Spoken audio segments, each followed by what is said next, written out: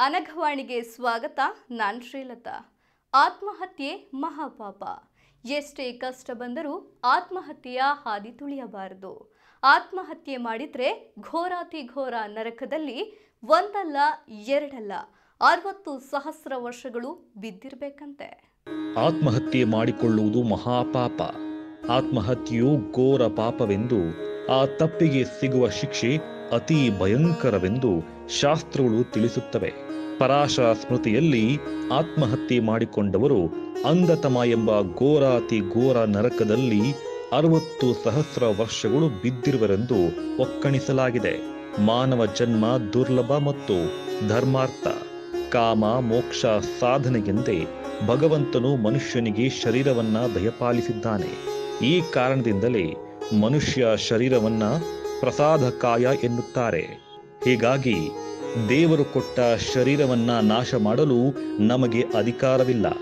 ಆಯುಷ್ಯವೆನ್ನುವುದು ಭಗವಂತನು ನಮಗೆ ಕೊಟ್ಟ ಅಮೂಲ್ಯವರ ಬದುಕಿದ್ದರೆ ಮಾತ್ರ ನಾವು ಮಂಗಳವನ್ನು ಶುಭವನ್ನು ನೋಡಲು ಸಾಧ್ಯ. ಶ್ರೀಮದ್ ರಾಮಾಯಣದಲ್ಲಿ ಶ್ರೀರಾಮ ಸೀತೆ ಆಂಜನೇಯ ಎಲ್ಲರೂ ಆತ್ಮಹತ್ಯೆಗೆ ನಿರ್ಧರಿಸಿದರಂತೆ. ಸೀತಾ ವಿರಹವನ್ನ ತಾಳಲಾರದೆ ರಾಮನು ಜೀವತ್ಯಾಗ ಮಾಡಲು ನಿರ್ಧರಿಸುತ್ತಾನೆ.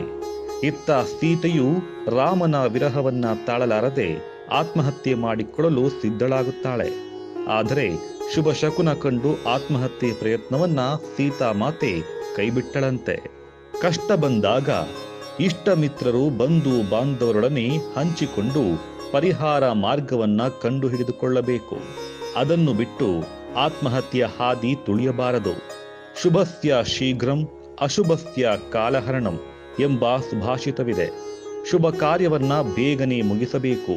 ಅಶುಭ ಕಾರ್ಯವನ್ನು ತಳ್ಳಿ ಹಾಕುತ್ತಾ ಕಾಲಹರಣ ಮಾಡುತ್ತಾ ಬಂದರೆ ಆತ್ಮಹತ್ಯೆಯಂತಹ ಅವಿವೇಕ ಆಲೋಚನೆ ಮನಸ್ಸಿನಿಂದ ಜಾರಿ ಹೋಗಲು ಸಾಧ್ಯವಿದೆ.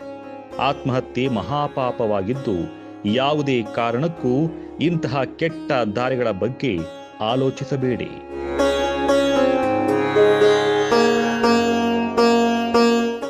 ವಿಡಿಯೋ ನಿಮಗೆ ಇಷ್ಟವಾದರೆ ಲೈಕ್ ಮಾಡಿ ನಮ್ಮ ಅನಗವಾಣಿಯನ್ನ ಸಬ್ಸ್ಕ್ರೈಬ್ ಮಾಡಿ ಪಕ್ಕದಲ್ಲಿರುವ ಬೆಲ್ ಬಟನ್ ಒತ್ತಿ.